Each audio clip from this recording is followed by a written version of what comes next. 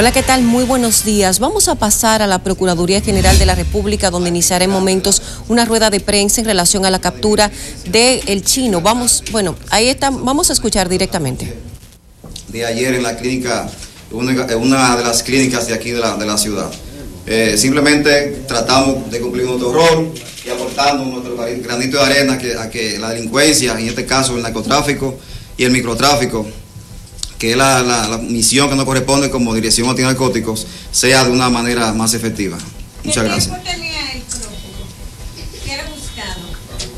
En octubre del año 2014 fue declarado en rebeldía y con orden internacional de captura.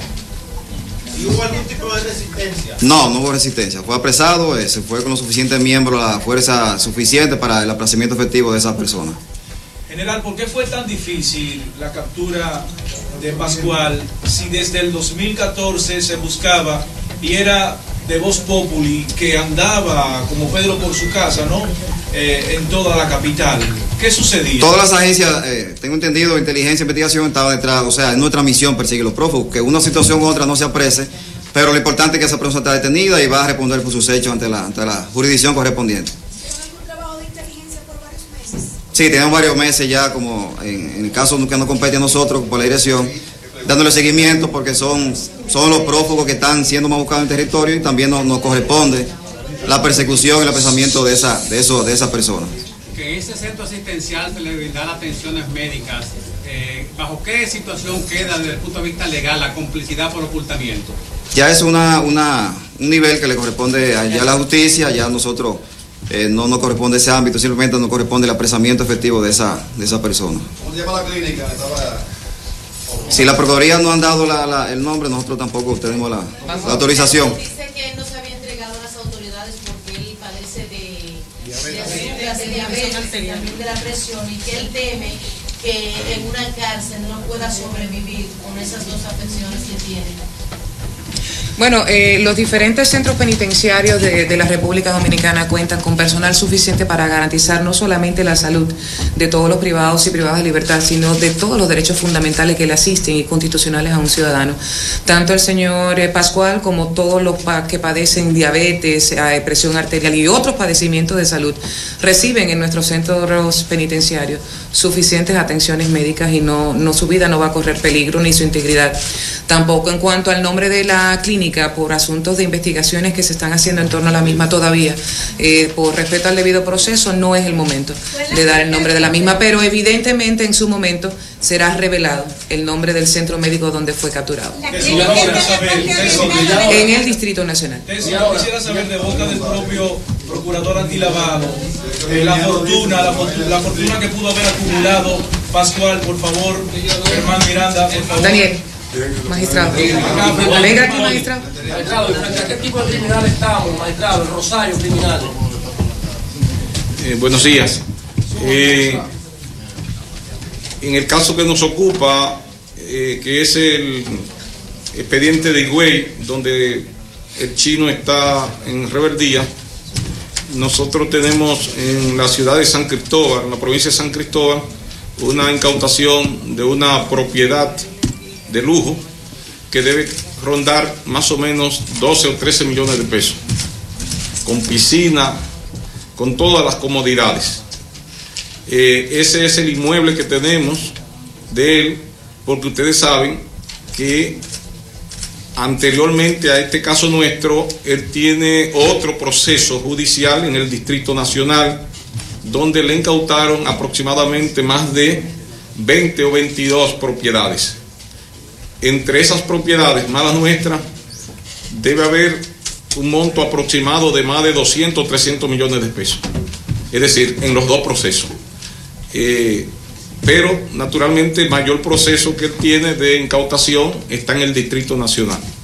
Magistrado, el chino fue declarado en rebeldía. ¿En qué etapa está el proceso del chino y qué va a hacer la Procuraduría a partir de ahora? Bueno, a partir de ahora la ruta procesal nuestra es esa.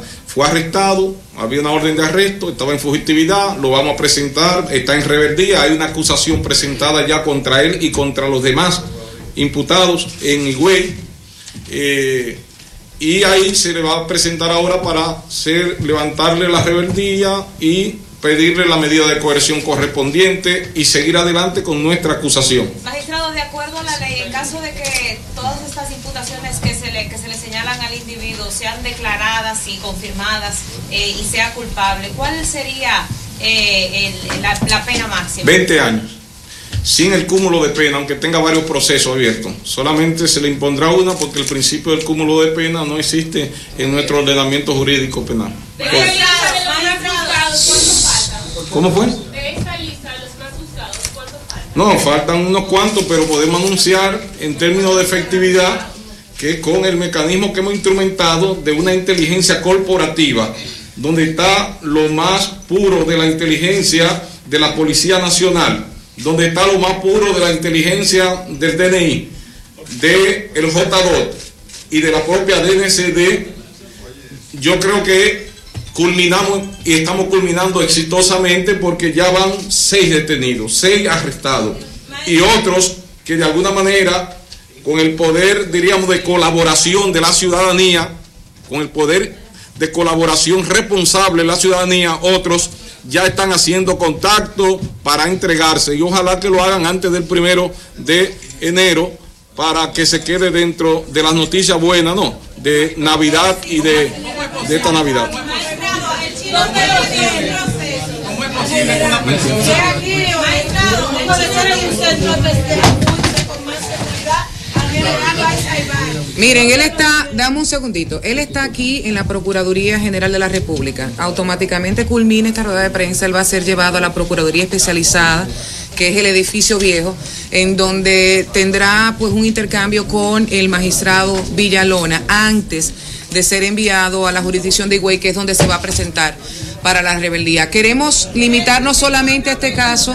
Tengo otra pregunta. Hola. El chino tiene dos procesos y dicen que el mayor, uno es Santo Domingo y otro en Higüey. ¿Pedirá la Procuraduría una fusión de los expedientes o se van a solicitar por separado? Ya eso es una decisión que evaluarán tanto el procurador eh, Miranda Villalona con el procurador general y la magistrada Jenny Berenice. Eh, lo, lo primero que indica el caso es presentarlo donde se produjo la primera rebeldía que fue en la jurisdicción de Higüey. Hay Ok. una solicitud de extradición de él en su contra. ¿Se le va a dar curso? Esa información no la tenemos hasta el momento. ¿Lo de la extradición? No la tenemos hasta el momento. ¿A qué cárcel pertenece eh, el chino? ¿En qué cárcel trabaja? El chino. Ajá. El chi- eh, o sea, de acuerdo a, la- a las proposiciones fácticas que están incluidas tanto en la acusación del distrito como en nuestra acusación. Perdón, de acuerdo a las proposiciones fácticas, no, que están eh, transcritas en la acusación de Higüey, en el caso nuestro, a él se les indica de ser uno de los patrocinadores del transporte de droga, cocaína eh, eh, líquida de República Dominicana, eh, Perú.